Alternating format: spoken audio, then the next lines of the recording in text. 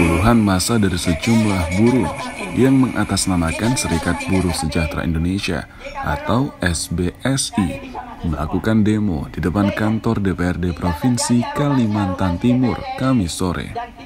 Berbekal pengeras suara dan juga spanduk, masa aksi menolak rancangan Undang-Undang Omnibus Law yang sangat merugikan para buruh di Kalimantan Timur.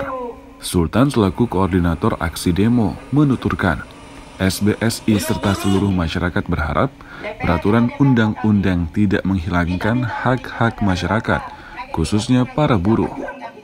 Jadi mudah-mudahan hasil uh, kesepakatan dukungan tadi ini di Jakarta kita kirim ke sana, hmm. DPR ada terketuh hatinya hmm. untuk tidak melanjutkan rancangan omnibus law ini hmm. karena sangat jelas sekali pak hmm. banyak pasal-pasal ini baru sekitar masalah ketenaga kerjaan hmm. yang contoh tadi bahwa uh, pesangon sudah tidak ada lagi cuti melahirkan sudah nggak ada lagi hmm. Sementara itu, anggota Komisi 1 DPRD Provinsi Kalimantan Timur, Agil Suwarno, ditemui usai melakukan hearing bersama perwakilan masa aksi, menuturkan DPRD mendukung apa yang telah disampaikan oleh para anggota SBSI.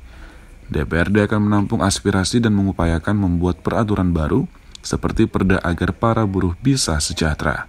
Kita mendukung penolakan ini, jadi kita serahkan nanti bahan penolakan sesuai dengan hasil kesimpulan rapat kita.